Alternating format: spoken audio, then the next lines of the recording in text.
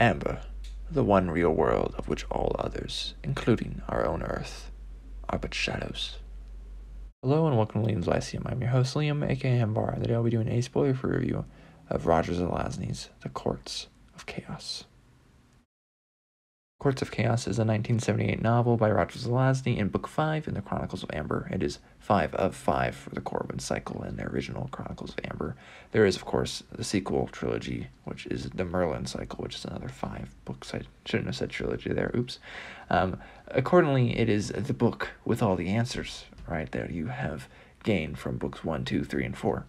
The end of Book 4 revealed to us Oberon's hand uh, in more ways than one it turns out he was alive after all and was none other than Ganelon.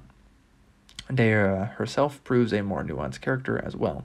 We know Brand is a bad guy and that Dworkin was a rebel from Chaos and um, is the father, actually, of Oberon. The adventures of Corwin are more consistently epic than a couple of the last books. He does take responsibility, uh, like he did a little bit in Book 4, and in a way, his ambitions change, and as always, our perceptions of reality are challenged family and interesting Arthurian bits tagged into very mundane Earth stuff, um, though we don't go to Earth in this one. We also have some Norse stuff, even some fatalistic philosophy. Um, you know, kind of the stuff you've been getting in the previous books, anyways.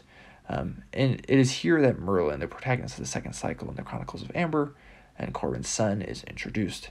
Overall, we have these people from Amber, which is in a way order, uh, but the Amberites are rather chaotic.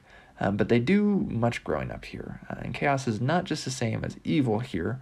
And I think looking at this with a psychoanalytic lens would bring a good amount of results. It's obvious from the length of this review, though, that I'm not doing that right now. Um, but it is interesting because it's mostly it at, on its surface, it's entertaining, right? And there's definitely more here, and it's it's good entertaining because it's very different than just about anything else I've read, and it's very remarkable. And if for some reason you're watching this review and you haven't read Nine Princes in Amber, you should. Um, and then, you know, kind of the the third book was kind of crime oriented, and the fourth is a thriller essentially. Uh, the famous reviewer Raf Blutak says this last one is in fairy tale form, which I would just trust him on that. So, anyways, this is the Liam Williams Lyceum. I really enjoy this one. I am looking forward to reading the Merlin cycle at some point.